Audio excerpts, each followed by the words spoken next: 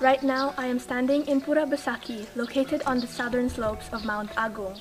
This temple is also known as Bali's Mother Temple, and it has been around since the 8th century, with the earliest mentions of it dating back to 1007 AD.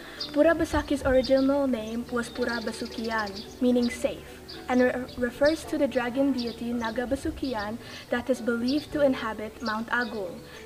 The name also originated from Vasuki in the ancient Sanskrit language, and it was called Basuki in the ancient Javanese language. However, the name evolved, eventually changing to Besakih. So how did all of this begin? Well, during the 8th century, a Hindustani monk in the area was in isolation when he had revelations to build homes for people. While many died during the building process because of illnesses or accidents, it was named Basuki when completed. Then, a few years later, Resi Markandeya came to Bali from Mount Raung in eastern Java in order to complete his holy duties of clearing out the forest and creating an irrigation system in this sacred place. However, during his first trip to Bali, many of his followers became sick and died, which led him to return to Mount Raung to carry out Tapabrata Yoga Samadhi, or a meditation where you focus your mind on God. After this, Resi Markandeya received a sign that he must come to Bali to Mount Tolangkir, now known as Mount Agung. With this sign, he also realized that he must perform a ritual at this location. When Resi Markandeya arrived in Bali for the second time, he followed his guide and carried out a ritual in Pura Besukian before performing his holy duties. 200 years later, in 1007 AD, King Udayana ruled Bali while his son King Airlangga ruled East Java.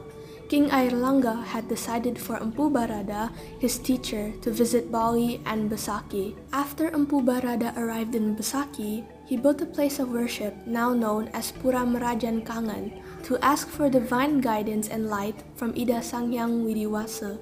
Afterwards, in 1343, Sri Aji Kresna Kepakisan ruled Bali, and his government looked after Pura Besakih. They even made an inscription that gives hints about Pura Besakih, its ceremonies, and its history. The first inscription was issued in 1444. Then, 14 years later, another inscription was published. These inscriptions are critical as they can be used as a reference when arranging the timeline of the existence of Pura Besakih. These inscriptions are considered to be an important symbol, and it is shown every year during the ceremony of Batara Turun Kabeh. Then, under the government of King Dalam Waturenggong, many holy people came from the island of Java to visit Purabasaki. One of these people, Danghyang Nirarta, arrived in Purabasaki and had ideas to make Purabasaki even better as the palace of Ida Sanghyang Widiwasa. Because of this, he created Padmasana, or the lotus throne, to complete the existence of Palinggi, and it was later perfected. Danghyang Nirarta then continued on his journey, spreading Hinduism around Bali. Over the centuries, as 25 different temples in the complex have been built, and an additional 86 clan temples and shrines, this makes Pura the largest temple in Bali.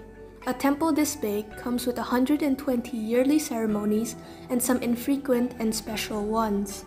The three main temples in Pura are Pura Penataran Agung, Pura Kiduling Kretek, and Pura Batu Madek. Firstly, Pura Penataran Agung is dedicated to Shiva, the destroyer or transformer.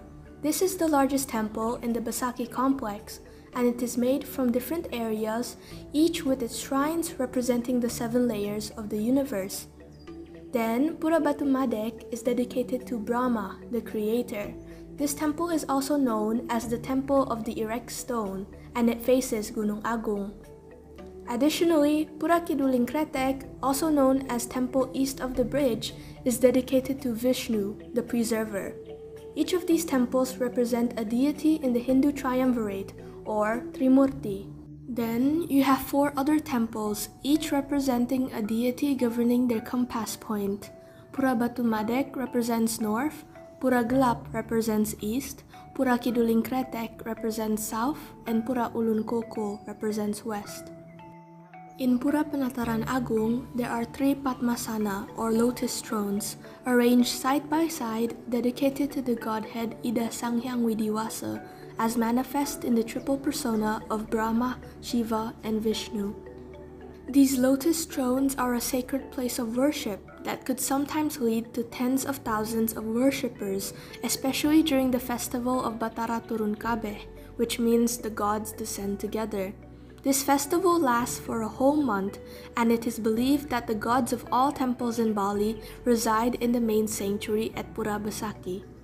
Pura Besakih is also home to a significant Balinese ceremony known as Eka Dasda Rudra, held once every century. This ceremony is also known as the purification of the universe. It aims to lessen the anger and win the favor of Rudra, a deity who is associated with disease, plagues, tempestuous winds, and other natural diseases.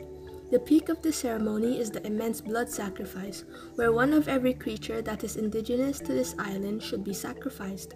The last time the ceremony took place, representatives of some 85 different species were sacrificed. During the celebrations of Eka Dasdarudra in 1963, Gunung Agung erupted, causing a massive loss of life and the destruction of villages.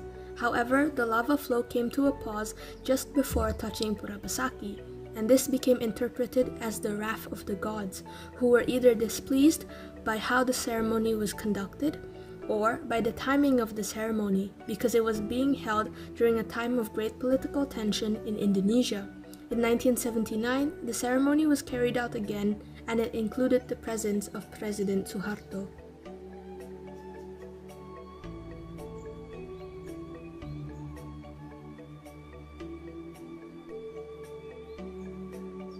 As the biggest temple in Bali, Pura Besakih is rich with history and it holds a great importance for Balinese society. Although the pandemic has made the community adapt to unfamiliar situations, Pura Besakih will always remain true to its name, providing a safe setting.